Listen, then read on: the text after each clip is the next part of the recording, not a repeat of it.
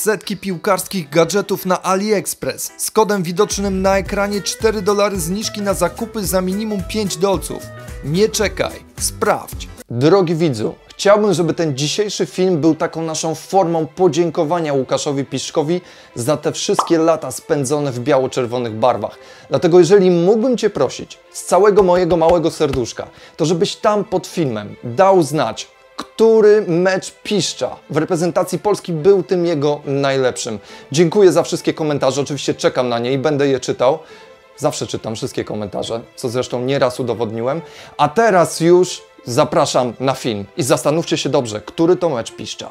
Wygrany 3-2 mecz ze Słowenią zapamiętamy na bardzo długo. I to nie ze względu na grę czy wynik. Chodzi o sytuację z samej końcówki pierwszej połowy, gdy Łukasz Piszczek przy akompaniamencie braw kibiców reprezentacji po raz ostatni opuścił boisko w narodowych barwach. To był moment, który chwytał za serce. Pewnie nawet najtwardsi kibice mieli łzy w oczach. Wielkie pożegnanie godne największych piłkarzy. Pożegnanie, na które Piszczu absolutnie zasłużył. Ile razy biliśmy brawo albo krzyczeliśmy z radości po jego rajdach prawą stroną? Tego chyba nikt nie jest w stanie zliczyć. Już na kilka godzin przed pierwszym gwizdkiem sędziego Łukasz Piszczek wrzucił na swojego Instagrama grafikę z hasłem nawiązującym do wielkiego hitu Sary Brightman i Andrei Bocelliego Time to say goodbye. Czas pożegnania nieubłaganie się zbliżał. Pod grafiką w komentarzach Borussia Dortmund życzyła swojemu zawodnikowi powodzenia i czerpania radości z tego wyjątkowego momentu. Do życzeń dołączyli się również dwaj hiszpańscy piłkarze BVB, Sergio Gomez oraz Matthew Murray. Im było bliżej meczu, tym w social mediach zaczęło pojawiać się coraz więcej zdjęć dedykowanych Łukaszowi Piszczkowi. Na trybunach PGE Narodowego pojawił się Łukasz Fabiański, który nie ukrywał, kto jest bohaterem wtorkowego wieczoru. Wśród kibiców nie mogło zabraknąć również mocnej ekipy z Goczałkowic-Zdroju. Na Instagramach i Twitterach najwięcej działo się jednak w trakcie i po meczu.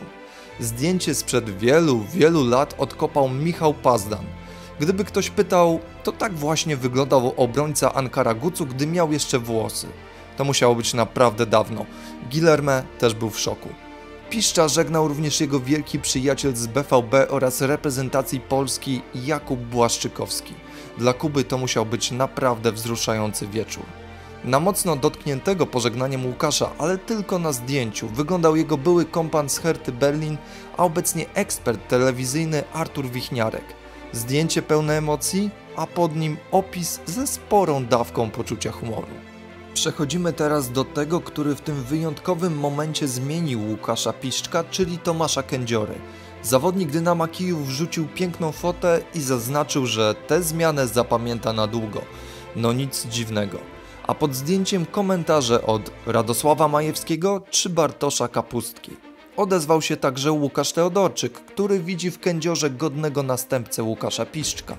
Pomeczowe gratulacje Piszczu otrzymał również od Grzegorza Krychowiaka.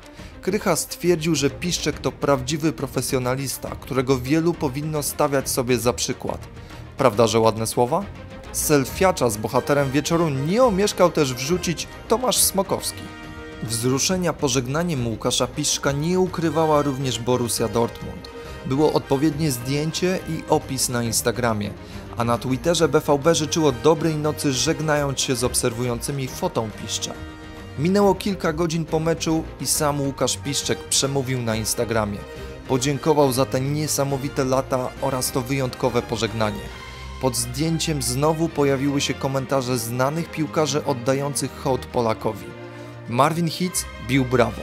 Emotikonkowy szacun oddali Fabian Lustenberger oraz Marcel Schmelzer. Natomiast Nuri Sahin oraz Christian Pulisic nie owijali w bawełnę i nazwali Piszcza legendą. Tak po prostu. Jeżeli tacy piłkarze tak cię nazywają, to znaczy, że prawdziwy kozak z ciebie. I na koniec filmu mam takie jedno malutkie życzenie. Chciałbym, żeby w tej naszej polskiej piłce było więcej takich Łukaszów Piszków, prawdziwych profesjonalistów, wojowników na boisku i po prostu bardzo dobrych piłkarzy. Tego sobie życzę i Wam, moi drodzy widzowie. A teraz już lecę sobie zrobić kawkę w takim oto kubeczku. Tutaj jest Łukasz Piszczek, odwaga, wiadomo. I dziękuję za dzisiejszą uwagę. Trzymajcie się i widzimy się wkrótce.